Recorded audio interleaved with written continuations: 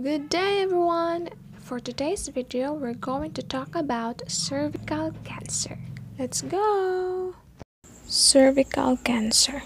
The cervix is a cylinder-shaped neck of tissue that connects the vagina and uterus. Located at the lowermost portion of the uterus, the cervix is composed primarily of fibromuscular tissue. There are two main portions of the cervix. The part of the cervix that can be seen from inside the vagina during a gynecologic examination is known as the ectocervix. An opening in the center of the ectocervix known as the external OS, opens to allow passage between the uterus and vagina. The endocervix or endocervical canal is a tunnel through the cervix from the external OS into the uterus. The overlapping border between the endocervix and ectocervix is called the transformation zone. The cervix produces cervical mucus that changes in consistency during the menstrual cycle to prevent or promote pregnancy. Cervical cancer is a type of cancer that occurs in the cells of the cervix, the lower part of the uterus that opens into the birth canal. It is one of the most common types of cancer in women worldwide, but also one of the most preventable. The cervix has two major cell types, the flat squamous cells lining the outer part and column-shaped glandular cells covering the inside of the cervical canal. Both types can become cancerous, but squamous cell carcinomas are much more common. Cancer usually starts in the zone where the two cell types meet, known as the transformation zone.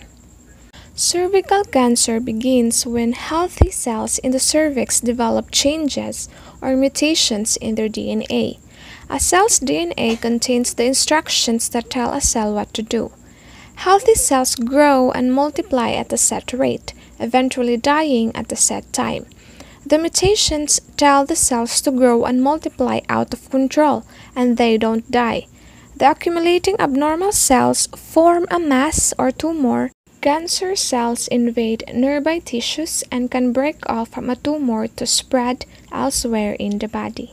Virtually, all cervical cancer is caused by human papillomavirus or HPV.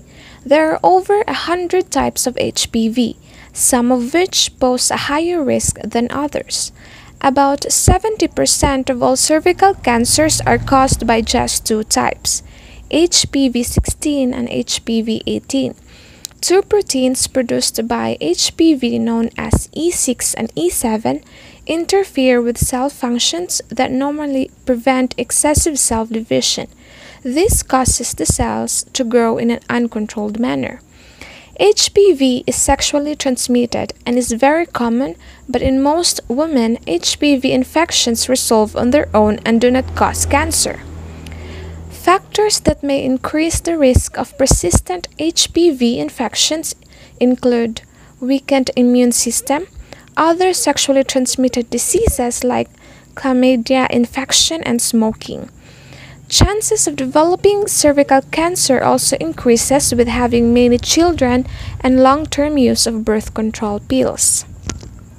Stages of cervical cancer Staging of the cervical cancer refers to the extent of the disease. Doctors stage the disease according to the size of the tumor and whether it has spread to nearby tissues or other organs of the body. Stage 0 is not considered invasive because the cancer cells are found only on the top layer of cells of the cervix. And stage 1A is considered invasive cancer because the microscopic tumor grows to the top layer of the cells into the underlying cervical tissue and is 3 to 5 millimeters deep by 7 millimeters wide. Stage 1B cervical cancer has two subcategories one where the tumor still can only be seen with a microscope but is larger than 5 mm deep and 7 mm wide. Second category of stage 1B, the cancer can be seen without a microscope and is larger than 4 cm in diameter. Stage 2A, the tumor spreads beyond the cervix to the upper two-thirds of the vagina, but not to the tissues around the uterus. In stage 2B, the cancer spreads to the tissues around the uterus. In stage 3A, the tumor spreads to the lower third of vagina. In stage 3B, the cancer spreads to the pelvic wall, the lining of the body wall cavity between the hips, and or may spread to the ureters. Ureters are the tubes that carry urine away from the kidneys to the bladder. If the flow of urine is blocked, the kidney can become enlarged or stop working. In stage 4A, the tumor invades nearby pelvic organs such as the bladder or rectum and may spread to the pelvic lymph nodes. Stage 4B, the cancer spreads past the pelvic lymph nodes to other places in the body such as the liver, intestines, or lungs. Clinical manifestations Early stage of cervical cancer generally produces no symptoms. Advanced stage disease can cause abnormal or irregular vaginal bleeding, pelvic pain, and unusual vaginal discharge. Diagnostic and laboratory procedure. Early detection is the key to prevent cervical cancer. Cervical cancer screening may include Pap test alone or in combination with HPV DNA test. In a pap test, cells are scraped from the cervix and examined for precancer changes known as cervical intraepithelial neoplasia or cervical dysplasia. These morphological changes can range from mild to severe. If the result is abnormal, the test is repeated after 6 months or 1 year to, mo to monitor the condition. If cervical cancer is suspected, Doctors likely to start with a thorough examination of your cervix. A special magnifying instrument or colposcope is used to check for abnormal cells. During the colposcopic examination, doctors likely to take a sample of cervical cells, or known as biopsy, for laboratory testing. To obtain tissue, doctors may use punch biopsy, which involves using a sharp tool to pinch off small samples of cervical tissue. Endocervical curettage, which uses a small spoon-shaped instrument or curette or a thin brush to scrape a tissue sample from the cervix and cone biopsy or conization, which is a procedure that allows your doctor to obtain deeper layers of cervical cells for laboratory testing. A cone biopsy may be done in hospital under general anesthesia. In staging, if your doctor determines that you have cervical cancer, you'll have further tests to determine the extent or stage of your cancer. Your cancer stage is a key factor in deciding on your treatment. Staging exams include imaging tests, tests such as X-ray, CT scan, MRI, and positron emission tomography help determine whether the cancer has spread beyond your cervix, and visual examination of your bladder and rectum. Your doctor may use special scopes to see inside your bladder and rectum. Treatment modalities Treatment for cervical cancer depends on several factors, such as the stage of the cancer, other health problems you may have, and your preferences. Surgery, radiation, chemotherapy, or a combination of the three may be used. Surgical management Early stage cervical cancer is typically treated with surgery. Which operation is best for you will depend on the size of your cancer, its stage, and whether you would like to consider becoming pregnant in the future. Options might include surgery to cut away the cancer only. For a very small cervical cancer, it might be possible to remove the cancer entirely with a cone biopsy. This procedure involves cutting away a cone-shaped piece of cervical tissue but leaving the rest of the cervix intact.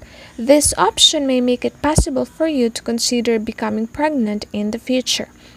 Second is the surgery to remove the cervix or trachelectomy.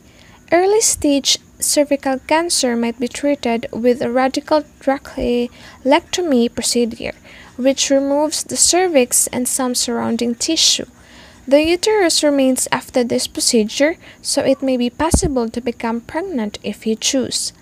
Third is the surgery to remove the cervix and uterus, or hysterectomy. Most early stage cervical cancers are treated with a radical hysterectomy operation, which involves removing the cervix, uterus, part of the vagina, and nearby lymph nodes. A hysterectomy can cure early stage cervical cancer and prevent recurrence, but removing the uterus makes it impossible to become pregnant.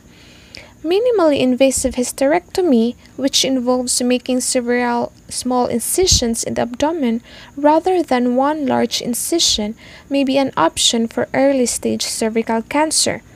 People who undergo minimally invasive surgery tend to recover more quickly and spend less time in the hospital. But some research has found minimally invasive hysterectomy may be less effective than traditional hysterectomy.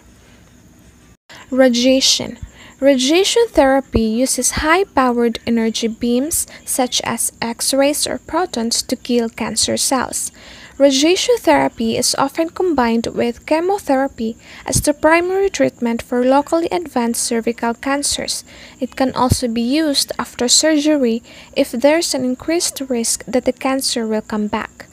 Radiation therapy can be given externally by directing a radiation beam at the affected area of the body or external beam radiation therapy and or internally by placing a device filled with radioactive material inside your vagina usually for only a few minutes or this called brachytherapy or both externally and internally can be used. Chemotherapy Chemotherapy is a drug treatment that uses chemicals to kill cancer cells. It can be given through a vein or taken in pill form. Sometimes both methods are used. For locally advanced cervical cancer, low doses of chemotherapy are often combined with radiation therapy, since chemotherapy may enhance the effects of the radiation. Higher doses of chemotherapy might be recommended to help control symptoms of very advanced cancer. Nursing management. Independent. Listen to the patient's fears and concerns and offer reassurance when appropriate. Encourage the patient to use relaxation techniques to promote comfort during diagnostic procedures. When a patient requires surgery, prepare her mentally and physically for the surgery and the post operative period. After any surgery, monitor vital signs every 4 hours. Watch for and immediately report signs of complications such as bleeding, abdominal distension, severe pain and wheezing or other breathing difficulties, and encourage deep breathing and coughing. Collaborative if you assist with a biopsy, drape and prepare the patient as for a routine pap test and pelvic examination. Have a container of formaldehyde ready to preserve the specimen during transfer to the pathology laboratory. Assist the physician as needed and provide support for the patient throughout the procedure. If you assist with cryosurgery or laser therapy, drape and prepare the patient as for a routine pap test and pelvic examination. Assist the physician as necessary and provide support for the patient throughout the procedure. Administer analgesics and prophylactic antibiotics as ordered. Patient teaching, discharge, and home healthcare guidelines for patients with cervical cancer. Be sure the patient and family understand any pain medication prescribed, including dosage, route, action, and side effects. Reassure the patient that this disease and cervical cancer care treatment should not radically alter her lifestyle or prohibit sexual intimacy. Tell the patient all the post-procedure complications. Ensure that the patient understands the need for ongoing pap smears if appropriate. Vaginal cytological studies are recommended at 4-month intervals for 2 years, every 6 months for 3 years, and then annually. Explain the importance of complying with follow-up visits to the gynecologist and oncologist. Nursing diagnosis, decisional conflict related to treatment options, chronic and acute pain related to metastasis and surgery, risk for impaired skin integrity related to radiation, fear related to diagnosis of cervical cancer, and anticipatory grieving related to potential loss of life. Prognosis When detected at an early stage, the five-year survival rate for women with invasive cervical cancer is 92%. About 44% of women with cervical cancer are diagnosed at an early stage. If cervical cancer has spread to surrounding tissues or organs and or the regional lymph nodes, the 5-year survival rate is 56%. That's all for today's video. Thank you for watching and I hope you learned something. Bye!